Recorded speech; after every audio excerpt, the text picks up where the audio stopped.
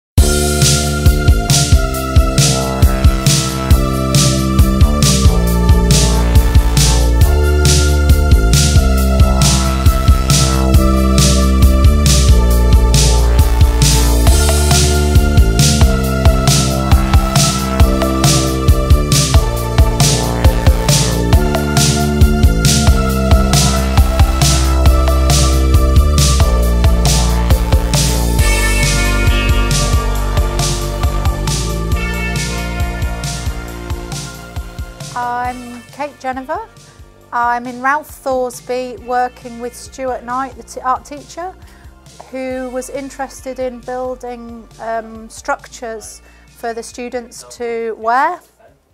And we then talked about how those structures could be uh, uh, influenced by the prosthetics, but then more creative, and then perhaps those objects could be used as tools for drawing with and tool and things for drawing.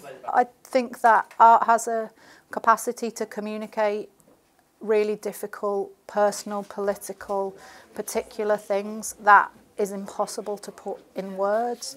And so to use art to deal with difficult subjects, distressing subjects, uh, we can make poignant, poetic, beautiful things, that talk of the disaster and talk of the sadness that yes we can see in film or we can see in photographs but the fact it has the the a much more sort of human the hand in it is really important uh, there was an exhibition called uh, The Body Extended Sculpture and Prosthetics. So that was the starting point and very much um, the prosthetics element was linked very much to the 1418 Now agenda around raising awareness of World War 1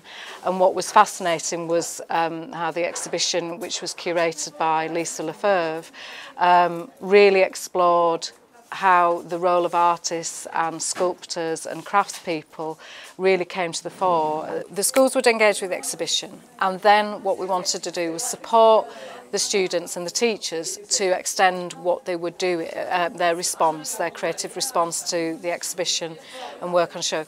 And, but we didn't want to just purely go down um, the visual art or sculpture route. So we introduced um, also a poet. So we've got a team of three who are working um, on the on the project. It is very much a kind of a piece of research in itself um, for the Henry Moore Institute to look at what are the successes and what are the um, challenges of, of working effectively with schools and helping them to think about their future program and how they can you know,